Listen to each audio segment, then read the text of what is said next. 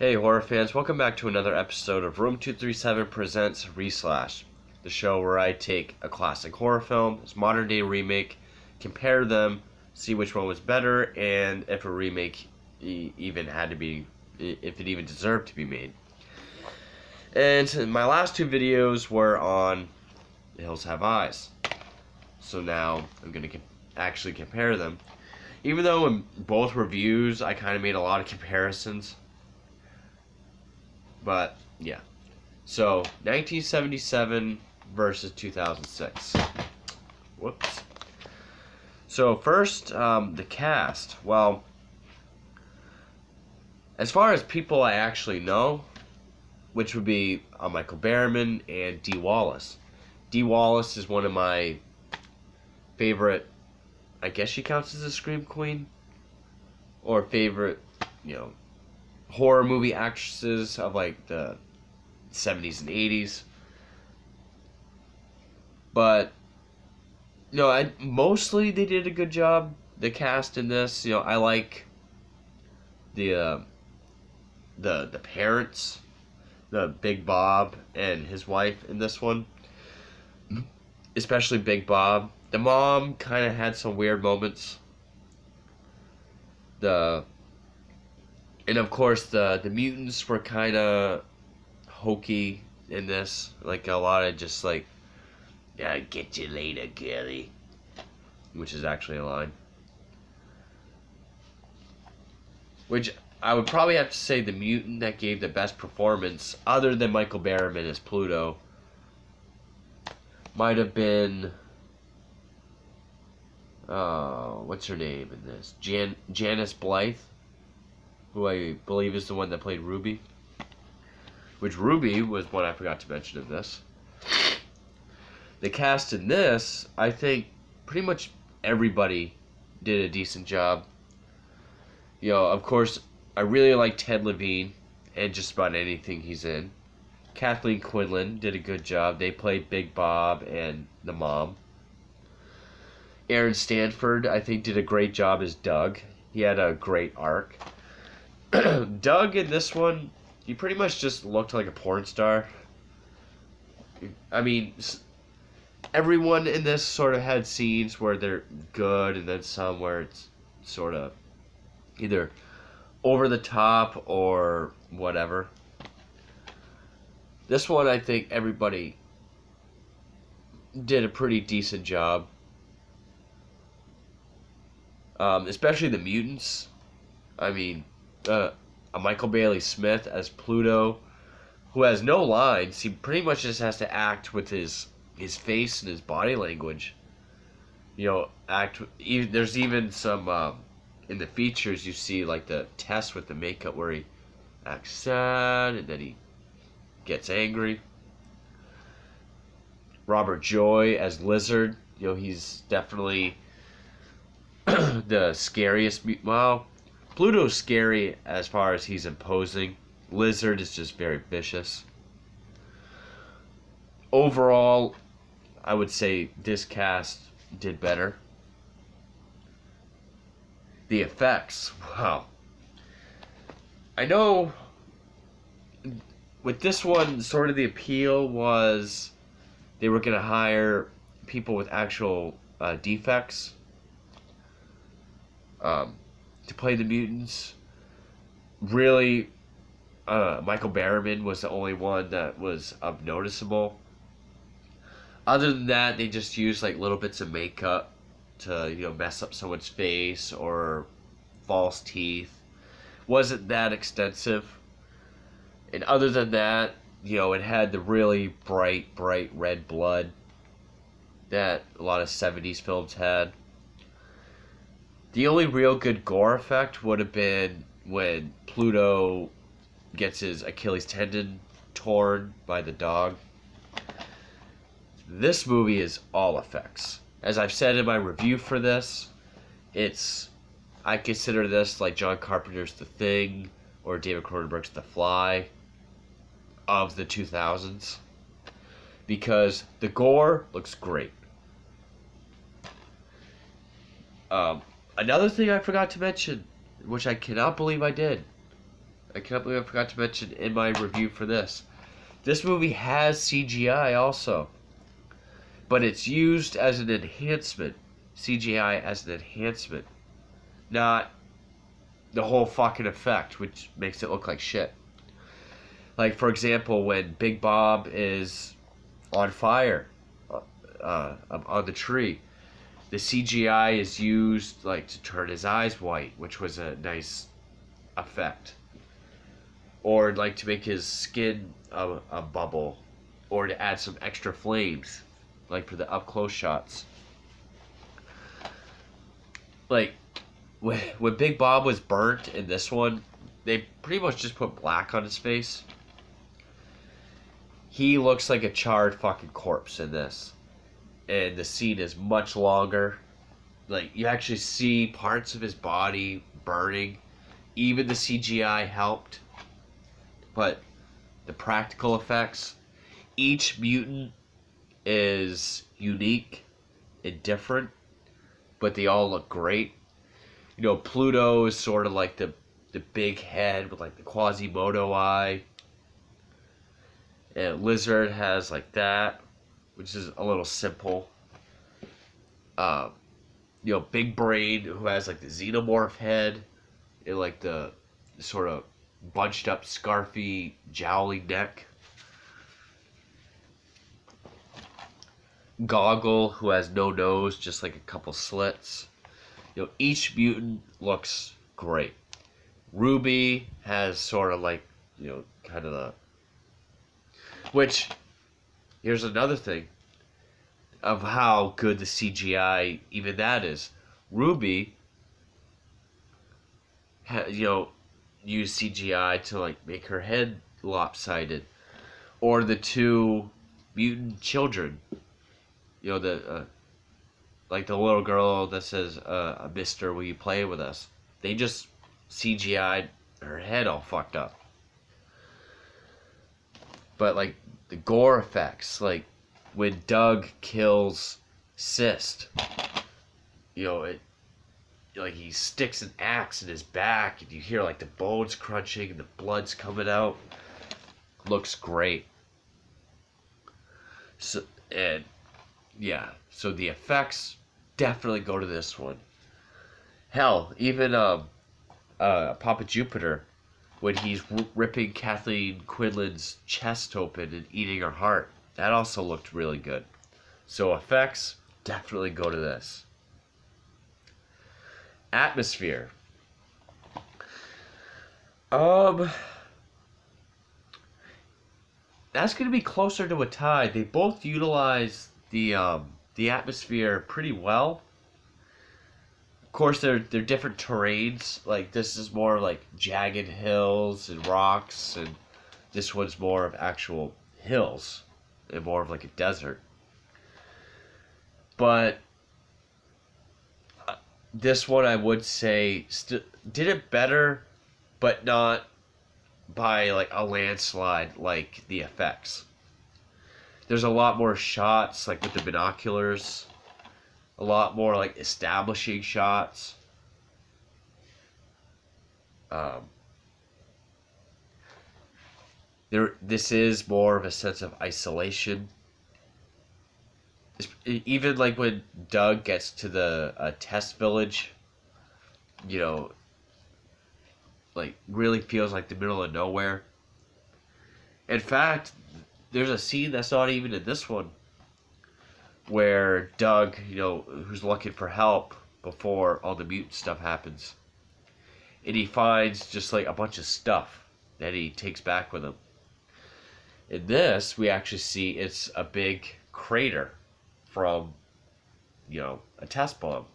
There's all these cars that, assuming that's where the mutants get rid of their victims' cars and he finds just a bunch of supplies. When he gets back to the trailer, he says it's like the Twilight Zone. Yeah, that and the test village does kind of feel otherworldly. It, it, it builds a sense of dread. That's one thing that you know atmosphere can do is create a sense of dread, especially in a horror film. And I think this one did it a lot more. like scenes where it shows one of the sisters looking out the windows of the trailer. She sees like like a a, a shine, like a, a reflective thing way off in the the hills. You know someone's out there watching them. I think that feels more evident in this one. But this one did utilize its environment when it had to, and fairly decently. So it, I would still say this one, but not as big a difference as like the effects. The scares, okay. I would say this one definitely is scarier. For example, um, the scene where Big Bob gets back to the gas station to, to look for help, and the attendant either gets killed or commits suicide. There's that part where either one or a couple of the mutants are talking to Big Bob from the darkness or from the bushes, taunting him. It is kind of creepy in this one, where it's like, hey, I'm over here. So he like shoots and kind of can't really hear other things that they're saying. In this one, they're just going like, Daddy. So he shoots and they, he's like, they'll say it fast or they'll say it slow. And, you know, the music also is like, dun, dun, dun. Daddy. Dun, dun, dun. Well orchestrated. Um,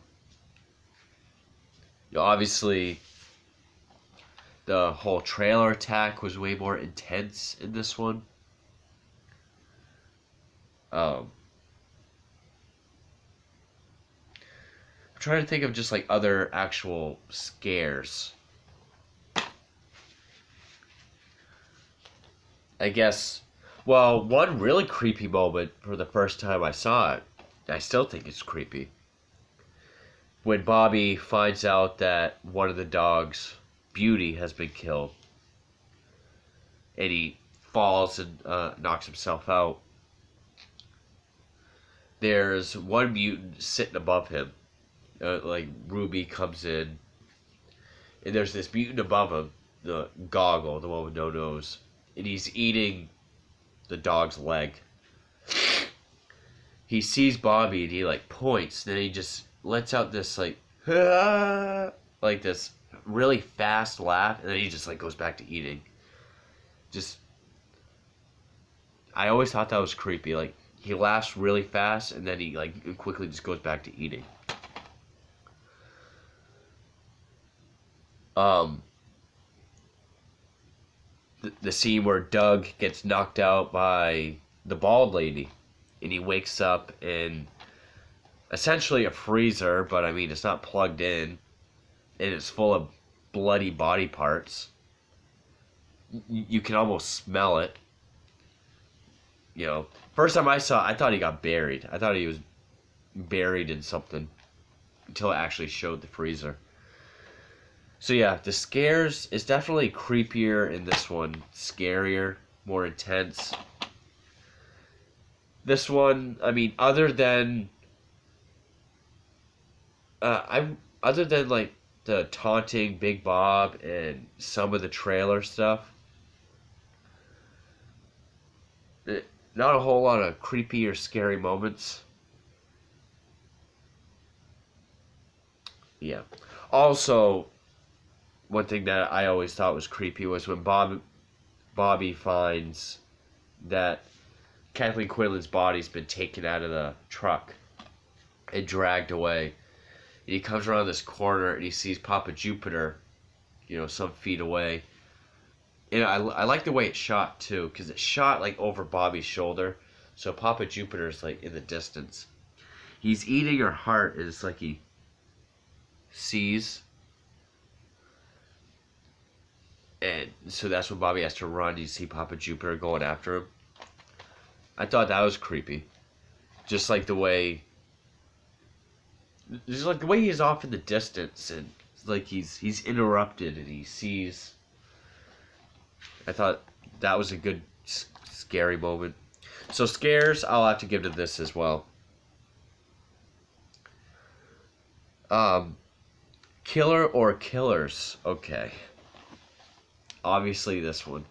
Not just because they look better, but you know Pluto, especially during like the it's breakfast time scene, and he's just going after Doug with that axe in the house, tearing up the house.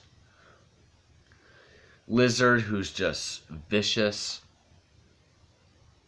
And, I mean, in this one, they, I mean, uh, Michael Berryman is the only one that really looks like a mutant. And, uh,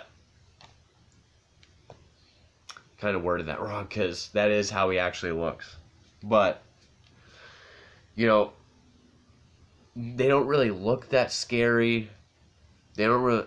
It's mostly like just talking, like like I'll come back for you. Like they don't really do anything that's really other than like the rape and some of the kills. They don't really have like a presence or like a sense of dread that this one does. They're just way more intense than this one. Like the part there's a part where when Big Bob gets attacked and he's on like this wagon on going through the mines. And it's kind of his vision and he's all blurry because he's been hit in the head. And you can kind of see some of the mutants kind of pulling the wagon that he's in. Sort of creates dread. Or like when you hear some of the mutants talking over the, the walkie talkies. You know, just they're. I'd much rather encounter them in this than in this. So yeah, I would say that they look scarier, they're more imposing and deadlier in this one. So I like the attempt that they tried to hire like uh, deformed people, even though Michael Berryman I think was the only one. It was a nice touch, but and they're all named after planets. In this one, with this one, they're named sort of after you know like Goggle. He he's the one that watches with the binoculars through the hills. Um, yeah, so killers, I would definitely say they're scarier and more intense and more enjoyable to watch in this one. The score.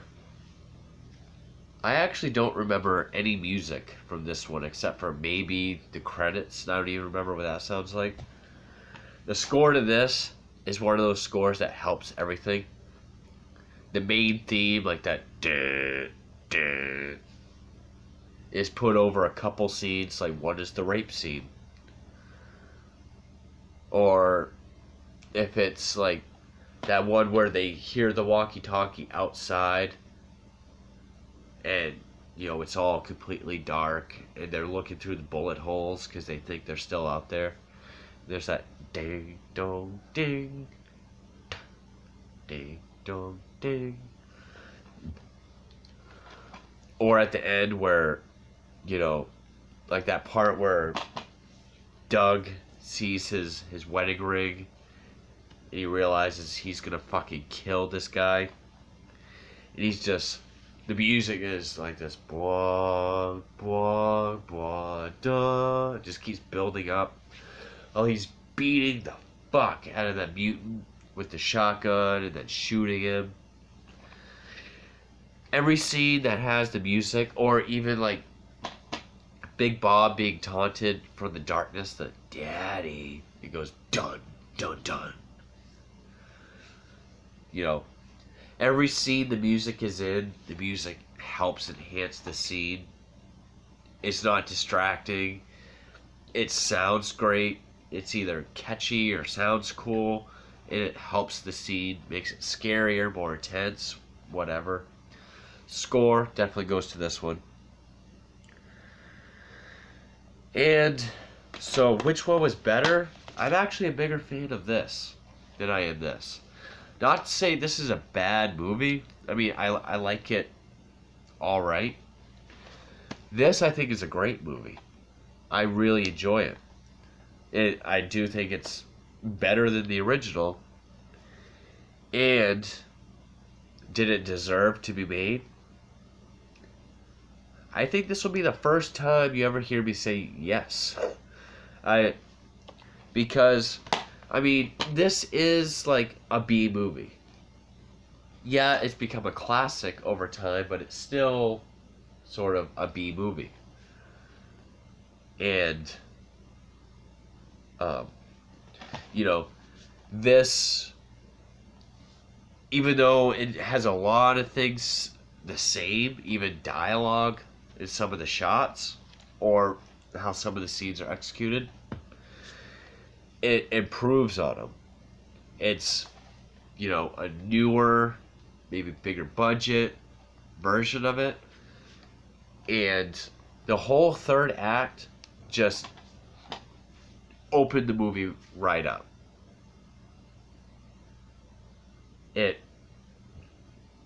it opened it right up. I mean, with this had the anticlimactic sudden ending, this just opened like it gave Doug a much bigger arc. It was a more satisfying ending.